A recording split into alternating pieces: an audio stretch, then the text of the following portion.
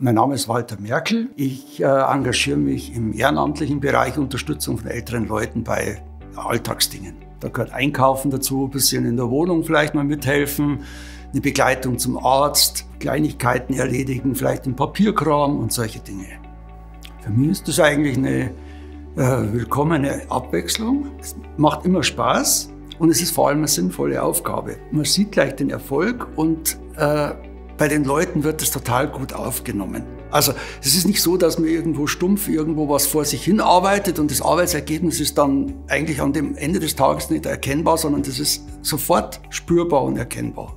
Und das macht eigentlich den, das, den Unterschied aus, vielleicht zu anderen Tätigkeiten. Ja, ich kann nur sagen, dass ich die erste Dame, die ich hatte, bis vor drei Monaten hatte, und dann ist sie eigentlich äh, zu ihrer Tochter rausgezogen Richtung Fürstenfeldbruck und hat jetzt da mehr so eine Tagespflege bekommen. Und die hatte ich eigentlich von Anfang an. Das war meine allererste und jetzt meine vorletzte oder vorvorletzte äh, Dame, die ich betreut habe.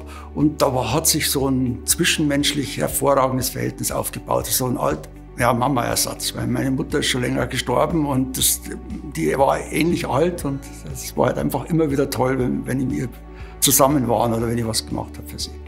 Was mir gefällt hier ist die, ja, diese familiäre, nette Art, mit der alle, inklusive vom Chef angefangen natürlich, bis alle Helfer Festangestellten hier im Büro bis zu den Ehrenamtlichen, die man hier trifft, sei es bei einer Weihnachtsfeier oder sei es mal beim Biergarten, ist die herzliche Art, wie hier umgegangen wird, wie man miteinander umgeht. Das ist einmalig.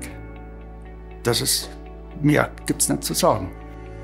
Macht mit, mit uns macht helfen Freude.